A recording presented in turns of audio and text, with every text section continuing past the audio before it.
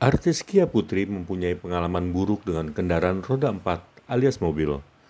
Perempuan yang akrab disapa Kia itu mengalami dua kali kecelakaan mobil pada 2022 silam. Imbasnya, ia mengalami luka dan bengkak di sekujur tubuh. Pemilik nama lengkap Nyi Raden Saskia Putri Warman itu mengalami trauma pasca kecelakaan itu. Ia mengaku belum berani menyetir mobil hingga saat ini. Meskipun trauma, Kia tetap menggunakan mobil sebagai moda transportasi sehari-hari. Kini, ia bakal menggunakan taksi online jika bepergian ke berbagai tempat.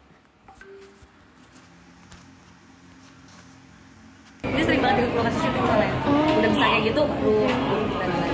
Itu empat tahun mulai terhitung dari hamil atau setelah melahirkan? Dari hamil ya dari Hamil. enggak ada ya. Berarti kini lebih lebih nyaman menjadi mengurus anak atau tak kembali lagi ke dunia entertain Mbak Kia? Bisa istilahnya eh, aku dapat pekerjaan yang aku bisa sambil kerja dan bisa sambil ngurus anak. Oh, oke. Kalau misalnya istirahat aku bisa swapping, kalau aku belum naik aku bisa ajak main, kalau lagi syuting di mall anak aku main, syuting kalau renang berenang gitu bisa aku Mbak satu lagi Mbak, ini saya baca, baca eh, saya lihat di Instagramnya demen naik motor ya Mbak? Enggak aku suka banget. Itu boleh cerita Mbak sejak kapan dan awalnya kenapa tertarik naik motor? SD emang suka aja emang suka suka banget jadi kalau pas hamil pun aku pernah naik motor Oh. nggak boleh ya jadi tiru bawa motor sendiri Oke. terus udah ke jiwa aja Eh, saya lihat ada cedera itu cedera ya Mbak di story Instagram itu Ah. gimana itu ceritanya gimana Mbak? kalau di kaki pernah patah empat tulang kalau kemarin aku sih mobil sih cuma lecet doang Itu kenapa Mbak? Karena yang naik mobil yang terbaru. yang terbaru Iya. karena aku aku bodor sih emang Eh, salah mencegat Oke. Nah, kalau motor mungkin aku masih bisa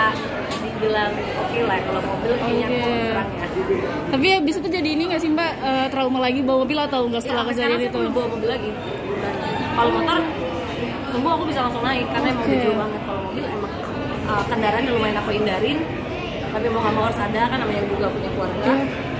Uh, begitu kejadian dan udah dua kali sebenarnya Oke. mobil sebelumnya juga jadi aku ganti dulu ya aku nggak mau nyetir dulu apalagi mobil orang minta maaf ya Oh, aku oke. aku agak bisa Berarti Mbak, tapi kalau pergi tetap naik mobil cuma nggak yang mengendarai mobilnya gitu ya? ya kalau misalnya bisa naik gojek naik gojek Oh, tapi kalau misalnya naik taksi mobil tetap nggak apa-apa gitu asal nggak yang bawa mobilnya. Eh, santai sih soalnya kan kecelakaan juga kalau yang, per- yang pertama sih lebih parah yang pertama cuma yang pertama udah kayak gitu akhirnya kejadian serupa. Kayak ntar dulu deh. Nonton aja dulu.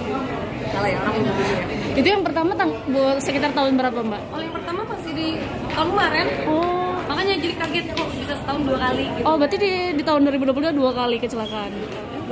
ya 2022 Oh, oke. Itu Mbak lukanya sampai dibawa ke rumah sakit atau enggak? enggak ah ngapain kalau misalkan kayak ya bengkak-bengkak doang luka-luka gitu Recovery-nya berapa lama Mbak setelah kecelakaan yang setelah mobil itu? kecelakaan berapa hari langsung hari keduanya langsung syuting lagi Oke. udah sama syuting sambil kopek-kopek aja Oke, oke. Siap. Makasih banyak ya Mbak Kia. Selalu.